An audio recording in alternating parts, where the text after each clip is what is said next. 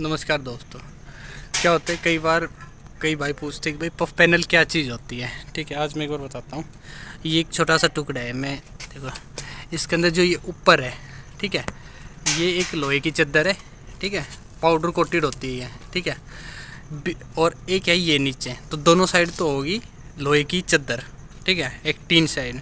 बीच का जो एरिया है, ये होता है P U foam, polyurethane foam. और इसलिए इसको P U puff P U foam P U F puff panel ठीक है?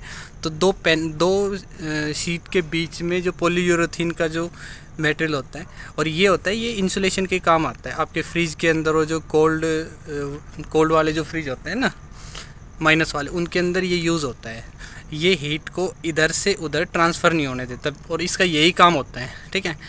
अगर जैसे कि अपनी ईट ले तो ईट के अंदर क्या होता है कि गर्म करे तो पूरी ईट गर्म होती है। इसके अंदर अगर हम यहाँ से इस चीज़ को, इस सरफेस को गर्म करें तो इसकी हीट इस साइड तक ट्रांसफ़र नहीं होती, ठीक है?